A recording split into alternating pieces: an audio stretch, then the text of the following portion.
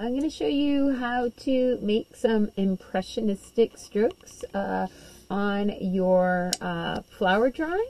Now you can use whatever materials you have. So if you have colored pencils, you can use colored pencils.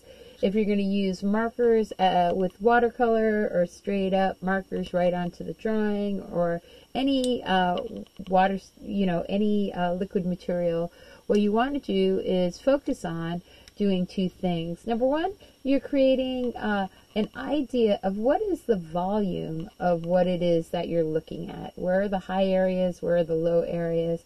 And then the second thing is how does the light fall on the object? And when the light falls on the object, how does that impact the way that uh, the colors appear on the surface? So in this example, you can see when it's closer to the light, you can see some white, but you can see multiple variations of orange and even a little bit of green uh, in this uh, little orange.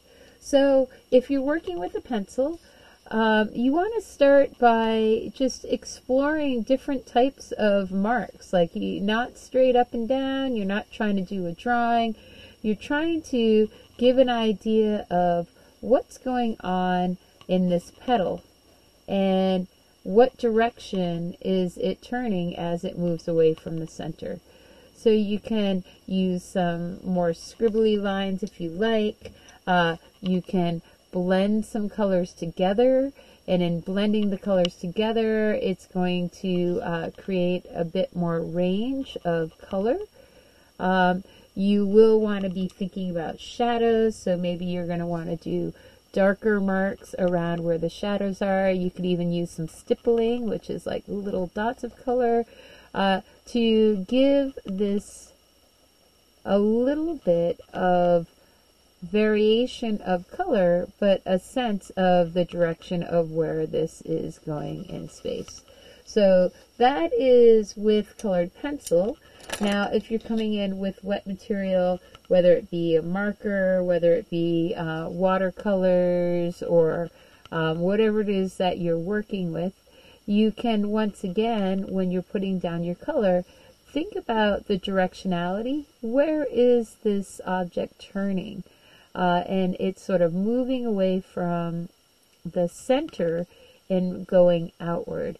So I'm going to come in there and I'll mix some colors together here to give a sense of what's going on here.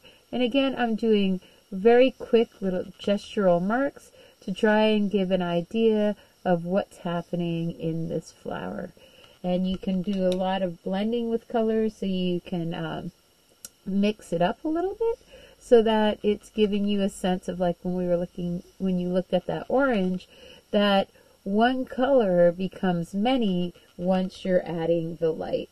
And so uh, you're just going to come in there and you are going to explore different types of gestural marks and various combinations of colors to tell the story of your flower.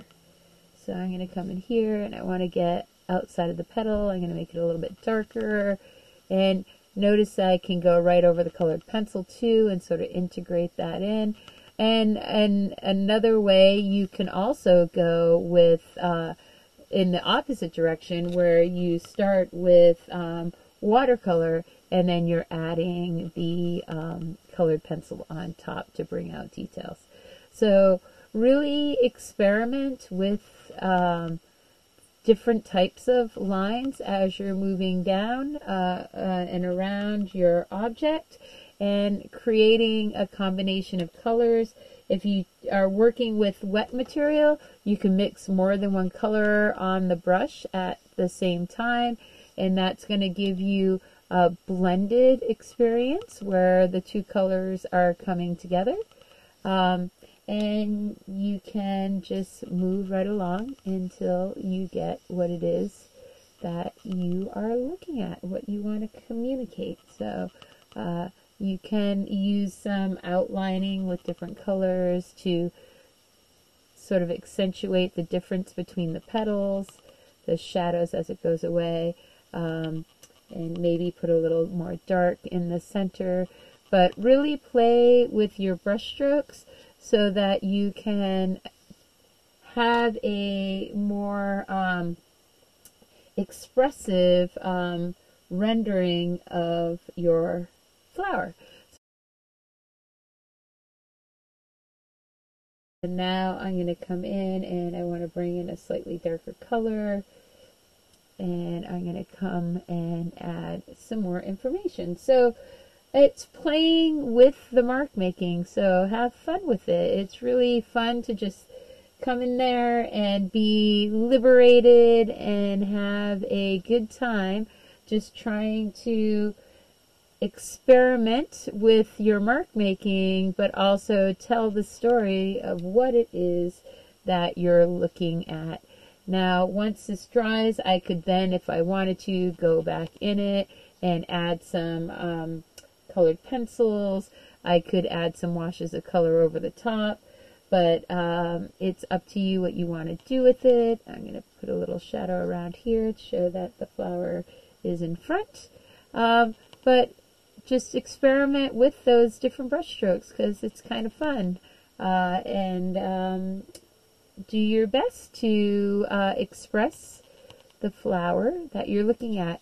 Now, it might be helpful also to uh, actually look at a photograph um, to get some color reference if you want to. And a photograph, because it's flat, you're going to be able to clearly see those highlights and those shadows. Uh, and I want to just come in and do one last thing and come in here and bring a darker color to get that area of the the flower sort of turning in here. And I'm going to come in here, get that there, and get my lines out here. And come in and have fun, really just playing with your marks and telling the story of your flower. Um, and you don't necessarily always have to be so straightforward with the colors that you're using. You could be more expressive and add, um, you know, some different colors. But whether you're using markers or watercolors, what I recommend is that you use less water because you can see how that sort of like moved around a little bit more.